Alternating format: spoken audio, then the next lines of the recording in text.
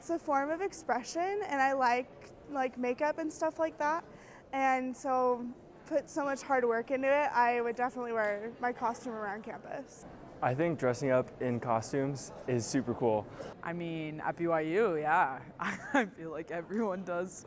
So I think it's fun. I think it's a social event and it's a way to connect with other people and it's really fun to celebrate a holiday. With Halloween only two weeks away, students are making the final decisions on their costumes. Probably a character from Avatar Last Airbender, like the Painted Lady or Ty Lee or something. I think I want to go for like a zombie kind of like doctor this year. I play on the lacrosse team.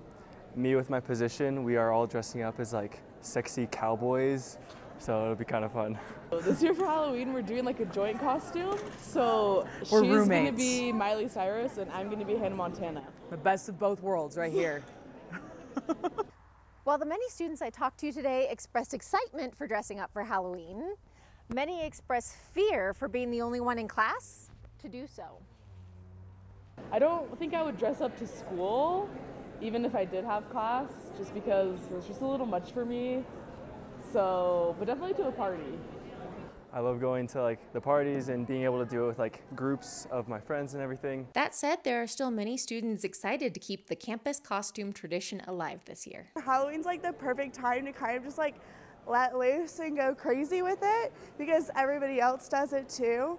Um, and so I like if you're considering it, I say 100% go for it. this is your one life, right?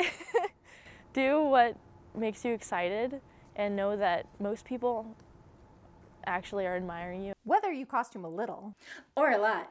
Now you know, it is cool to costume in college. Reporting for Universe Live, I'm Samantha Birrell.